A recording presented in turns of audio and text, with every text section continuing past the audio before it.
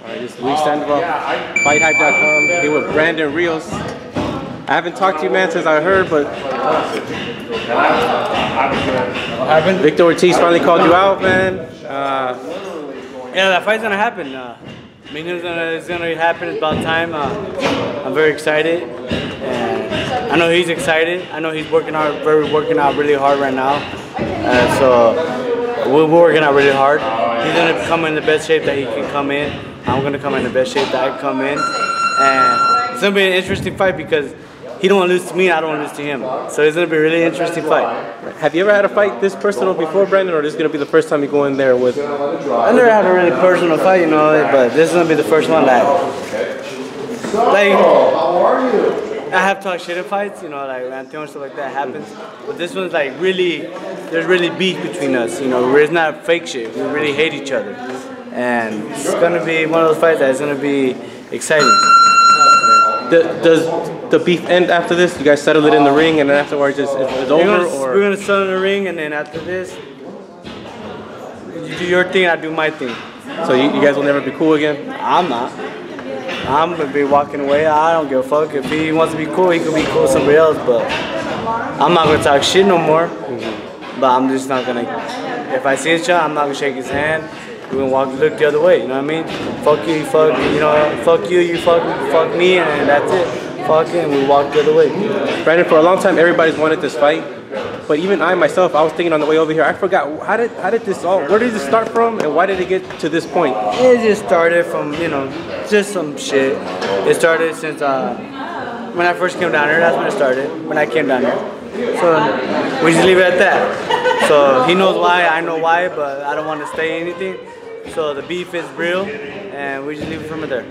You guys did get in, growing up, you guys did get in the ring, you guys did get into. We, we, we, we fought in amateurs and we did used to spar. We fought in amateurs and then we fought one time in amateur and we sparred in amateur. Uh, not in amateur, yeah, we did a lot of sparring and uh, that was it. But never sparred when I was a professional. When I first came to California, Yeah. I think I sparred once and that was it. Actually, one time, that's it. When I came, when was the Colonia? A long time ago. You still remember it, like what how it went? No, I don't remember. Honestly, I don't remember it. But I remember we sparred, but I don't remember how the outcome went. But I know when we was amateurs and back home, I used to make cry all the time in sparring. His dad used to get mad at him, I used to make cry. His dad was like, "Nope, fuck you, you gotta do it, man up, man up." You know, I remember that. I remember that. I remember him crying a lot in sparring. Would you would he would he be crying because of the pain or because he was frustrated with it or? I couldn't say. I couldn't say. I don't know. All I remember him was crying when I was sparring him. And I was not going to stop and take it easy. Fuck no, that wasn't my thing. You know, I never been easy. You always told me that you never take it easy. I never take it easy on the ring because uh, the other guy can fuck me up. So, you know, I never, I never have took it easy. Since even in now. That's why I told Rick, never put me with guys that uh, it's going to get dropped hard because I won't take it easy. Because you're going to get mad at me. And I want that to happen. So Brandon, how, how important is this fight for you, man? I mean, because I know you want to get it, but just how important is this for you This- this- this- to, to get this victory? This fight is very important because the fact that the the beef that we have with each other, you know what I mean?